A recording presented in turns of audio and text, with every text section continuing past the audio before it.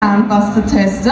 Ich werde jetzt hier das mal einschalten, die App, und wir scannen jetzt mal den einen Barcode. Schauen wir mal, ob das funktioniert. Na, das ist sehr schnell gegangen.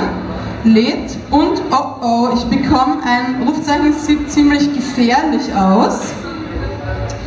Und jetzt wollen wir mal ganz kurz schauen, hoppala, was passiert mit der anderen Zahnpasta. Gehen wir noch einmal auf Scannen noch einmal auf den Strichcode einfach draufhalten, es geht relativ unkompliziert. Und ich bekomme ein grünes Herz. Ein grünes Herz. Martin, kannst du uns bitte kurz erklären, was das bedeutet und wiefern hat das mit Global 2000 zu tun?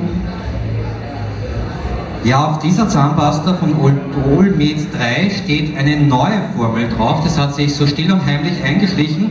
Das heißt, hier sind keine hormonell wirksamen Chemikalien mehr drauf.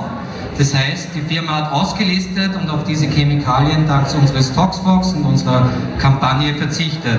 Was toll ist. Und wie man es vorher gesehen hat, so einfach kann man testen, ob man sich mit Hormonen was Gutes tut. Natürlich nicht, aber draufhalten, schauen und dann hat man das Ergebnis und ist auf der sicheren Seite.